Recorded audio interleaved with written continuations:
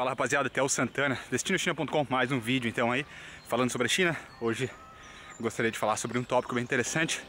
Tem a lista de anotações aqui que eu faço todos os dias, na verdade. E hoje é foco em somente uma ideia de importação. Uh, muita gente quer importar da China, mas uma pergunta clássica que eu faço para a pessoa, a primeira pessoa manda mensagem para mim e ela fala: "Eu quero importar da China". Aí eu falo: "O que você quer importar da China?"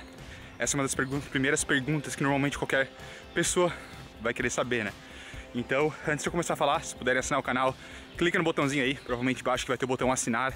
Clica ali que eu vou ficar super feliz e vou continuar criando mais conteúdo para vocês aí direto no Brasil, beleza? Então, primeira pergunta que eu faço e o, o que você gostaria de importar?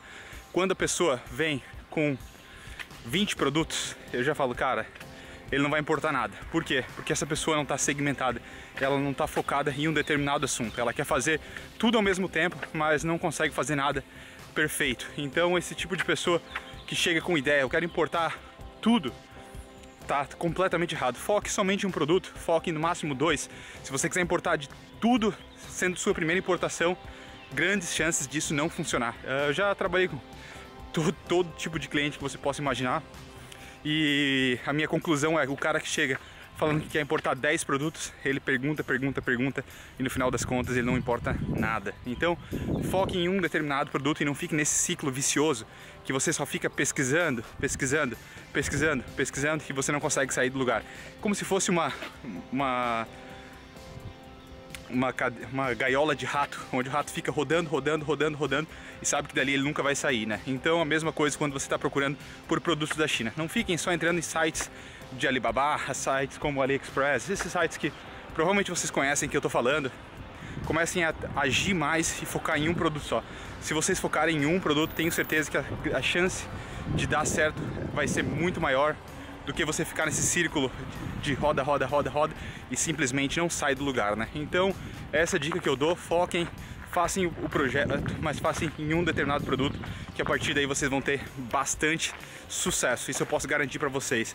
E quando focar no produto, tente se tornar o maior especialista daquele produto. Não tentem simplesmente fazer um pouquinho dele e depois, ah, não, não, não era o que eu queria.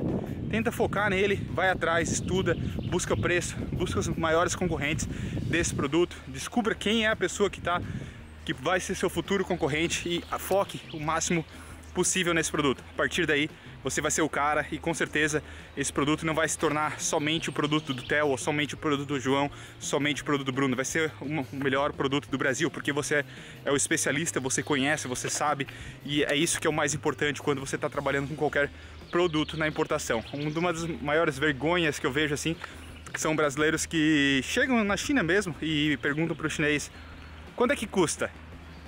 Primeira pergunta, o cara, se o cara chegar com essa pergunta de quanto é que custa e o cara não entendeu o produto chinês em três perguntas ou duas perguntas, ele já vai saber, cara, ele não é um especialista, eu vou aceitar o cartão dele, vou botar no meu bolso e vou levar como respeito, né? Já que Tô aqui numa feira, é para todo mundo, se quiserem perguntar o que quiserem, mas o cara já vai colocar no bolso da direita e não no da esquerda, provavelmente ele vai fazer alguma, algum tipo de ação sabendo que você não é o especialista naquela área. Quando você sabe sobre o produto e você focou em determinado de um produto só, aí não tem erro, você vai chegar já com uma parte técnica, qual é a espessura, qual é a cor, qual é as medidas, que tipo de motor, qual que quantas fases, qual que é a rotação, a velocidade. Cara, tu vai chegar com uma, umas perguntas muito mais completas e você vai saber que um produto não é somente um preço, vai depender de uma variáveis incríveis uh, no processo, no produto inteiro, para você chegar a um determinado principal, que é o preço, né? Então, não tentem comparar preços, um preço com preço, dois, que não faz sentido algum. Muita gente faz isso, ele pega um produto e fala, ó, oh, um celular. Quantos? Mil dólares. Opa, esse, 500. Ah, como é que tu tá vendendo a mil? Tá louco? Aqui é 500 e o, tu tá vendendo a mil, tu tá louco? Mas não sabe principalmente que a parte interna, os chips, os processadores são completamente, de, ou seja, importado ou de uma marca diferente.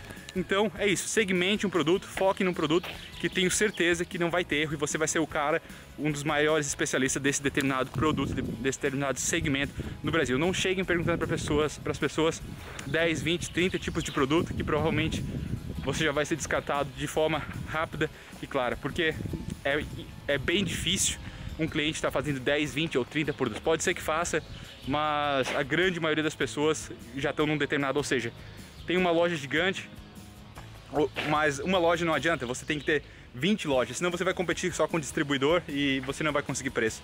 Mas de qualquer forma é isso, tente focar no produto, faça isso, que eu tenho certeza que vocês vão uh, atingir bastante sucesso na sua importação, beleza? Espero que tenham gostado, eu termino o vídeo por aqui, volto para minha rotina, um abraço, se cuidem, fiquem com Deus e é isso. Essa foi minha dica de hoje. Falou rapaziada, uh, fui!